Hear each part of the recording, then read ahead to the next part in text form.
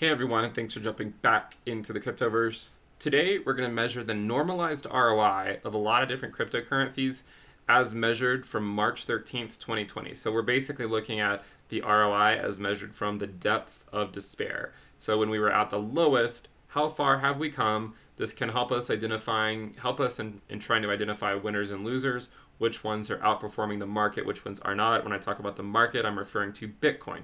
So if you guys like the content, please subscribe to the channel, give the video a thumbs up, and also check out the Telegram channel, which you can find a link to in the description below.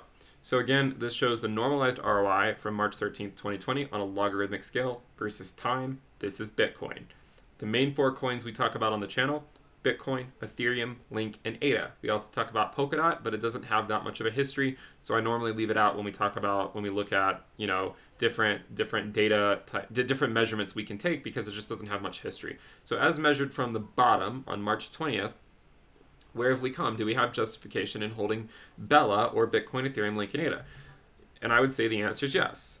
Ethereum has outperformed Bitcoin fairly consistently, which is exactly what we want to see right? This is exactly what we would expect. If Ethereum was not outperforming Bitcoin, then it would it would beg the question, why the hell do we hold it? But it is outperforming, and we're paying with that outperformance with more units of risk because when you know, and you feel that risk, right? The volatility when Bitcoin moves down, Ethereum tends to move down more. So we're paying for that extra ROI with more units of risk. Now, I would argue that in order to, to justify holding a lot of altcoins, they need to outperform Ethereum. So is is Link, are Link and ADA outperforming it? Well, here's Link. You can see that Link is more or less consistently outperforming Ethereum. ADA is also more or less consistently outperforming Ethereum. So we have Bella, our four coins, Bitcoin, Ethereum, Link, and ADA. Ethereum's outperforming Bitcoin, and Link and ADA are outperforming Ethereum, and of course, by association, uh, Bitcoin as well. So these are the reasons I hold these coins. We've been, obviously we've been talking about them since 2019 when I started the channel, but you can see as measured from the depths of despair, all four of these coins have done well.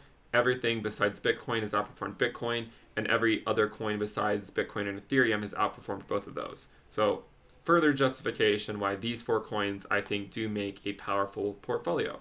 Again, you can always substitute your own coin uh, for one of these, but just make sure you're you're you have a winner and you're not you know riding a donkey for years and years and years. Now let's be fair. Let's look at some other coins. Here's Litecoin. You guys know my thoughts on Litecoin. I think it's more or less better to purchase it once Litecoin once Bitcoin gets to the prior all-time high, and even then it's a maybe. Uh, we've often contended that it can trend up when the whole market trends up, um, just like it has recently. This tends to bring out you know a lot of comments on the channels or on my channel saying, you know, I, bet you wish you held Litecoin. And again, my response is, you know, I'm, I'm happy for, I'm happy for you guys if you're making money, but it's underperformed Bitcoin as measured from the depths of despair.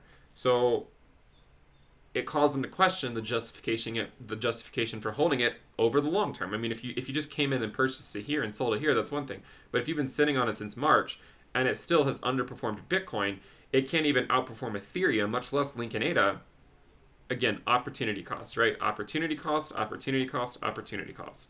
You also have XRP, which for the longest time was underperforming Bitcoin and only recently has started outperforming it. We'll see if this holds.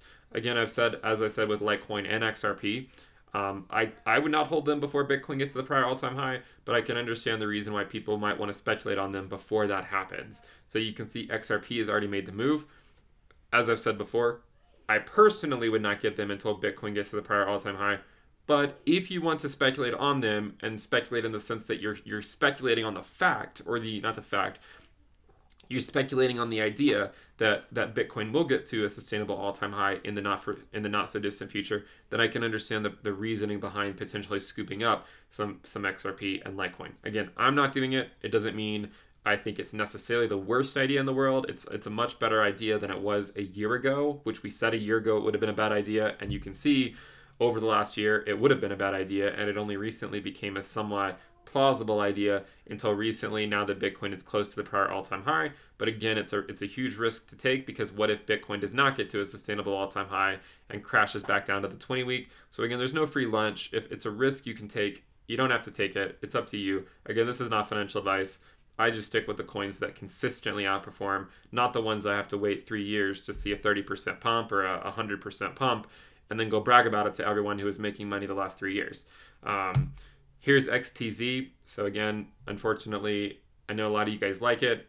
Uh, as measured from the depths of despair in March, not a whole lot of justification for holding it, frankly speaking, right? It, it's not even come close to, to outperforming Bitcoin. EOS, again, pretty lackluster performance. Same thing with Dash and Neo. Uh, XLM has actually done pretty well. So, and and some of it has come recently, but you can see pretty consistently it was above Bitcoin. Only recently with Bitcoin's run did it dip below, and now it's come back above. So again, I don't hold XLM, but if you do hold it, I, I, I would say you know what there is some justification for holding it because it is outperforming Bitcoin and it has been outperforming Ethereum for a lot of it, not all of it, but a decent amount of time. It's also outperformed Ethereum. Obviously, not over here. Um, I prefer my altcoins to outperform Ethereum, hence Link and ADA, as I've been talking about for a long time. XLM is is a is a is a potential horse that I could see some people wanting to to ride. ATOM, it's okay. Uh, you know, you get more risk than Bitcoin, but you're you're basically getting the same return as measured today. So I could take I would I would say take it or leave it. Again, I don't own it, but take it or leave it in my opinion. VeChain. We had one standalone video on VeChain. Um, I do think I will talk more about this project in the future. It has done pretty well. It's it's right up there with with Link and and it has actually outperformed Ethereum for basically the entire time as well. So VeChain is definitely one on my radar. Uh, if I had to pick a project besides Bitcoin, Ethereum, Link, ADA, and Polkadot, it might there's I, I would say I don't want to say definitively it would be VeChain, but depending on what the risk level is at the time on VeChain, how it looks against Bitcoin, how it looks against Ethereum, I could see myself theoretically picking up some some some VeChain at some point during the market cycle. It does seem to so far be a pretty good horse to ride. Okay, um, Tron, it's more okay. Uh, again, I know a lot of you guys have some feelings about Tron. Again, I try to keep the feelings out of it. I just look at the data. I don't really care about what the feelings say. But you can see that it is pretty much given the same return as Bitcoin while also providing higher risk.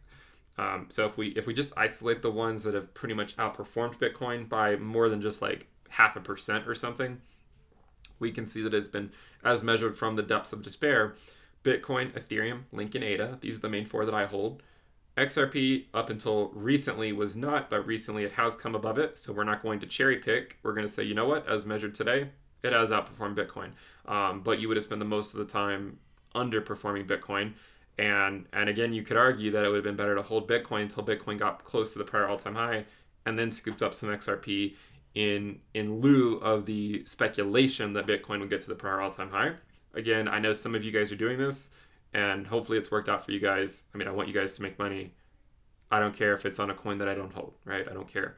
Uh, let's all make money. We all want to do the same thing. We don't need to have these, um, you know, these these different uh, types of, uh, you know, he versus you know this guy versus that guy. We all we all just want to make money. Obviously, it's a zero sum game, um, but at the end of the day, uh, if, if we're all here at this point during the market cycle, I would say we're all fairly early in terms of the grand scheme of market cycle. I think there's a good chance that if you're here now, you have a decent chance of making a decent amount of money over the next few years. So, to some degree, we're all in this together, um, and and let's make some money. Uh, XLM outperformed, and VeChain outperformed. So Again, these are the winners out of the ones I chose. Obviously, I, I just picked some. I'm sure there's going to be some out there that I didn't pick that have outperformed some of these. But again, these were the ones I chose. And out of the ones I just randomly chose that are more or less in the top 25 or so, uh, Bitcoin, Ethereum, Link, and ADA. So Ethereum, Link, and ADA have outperformed Bitcoin. These are the main four I hold. XRP, XLM, and VeChain have outperformed Bitcoin as well as measured today uh, XRP only until recently, but XLM only until recently as well. VeChain pretty consistently. So for me, I like to look for consistency, not something I have to sit on for three years and then see a pump, right? I, I look for, I, I prefer consistency. And so that's why I primarily focus on these coins as, as we've talked about since 2019. Now I understand coins like ADA had a pretty nasty correction against Bitcoin. And I've often contended that ADA had no, had no business being valued at over a dollar in 2017, 2018, right? It just simply didn't. Um, but I, I don't think that should necessarily cloud your judgment on where it could go. And that's why, as measured from when I started the channel in 2019, I think this was a fairly attractive investment from a risk a risk adjusted returns point of view. So if you guys like the content, remember to subscribe to the channel.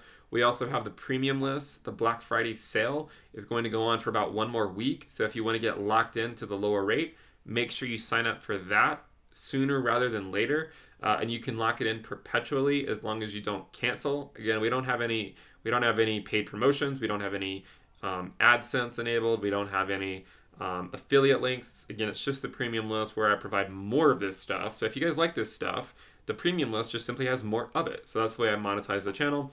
Um, and then uh, again, you get access to the risk dashboard, which is what I use to trade, a weekly premium video, a weekly premium report, a Telegram alerts channel, a Telegram chat room, TradingView indicators, a dynamic DCA selling dashboard. You get access to a whole lot of stuff. You also unlock access to all the prior reports and videos by subscribing. So I would encourage you guys to subscribe if you're looking for a community to you know to write out this market cycle from a more data science perspective. Um, so make sure you check it out. You have one more week or so to I don't have an exact date yet, but about one more week before I will stop the Black Friday um, deal. So check it out. And at the very least, make sure you subscribe to the channel, give the video a thumbs up. Also turn on your notifications to be notified of future videos.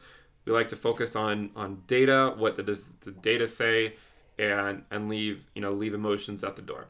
So make sure you subscribe. I hope you guys enjoyed the content, and I will see you next time. Bye.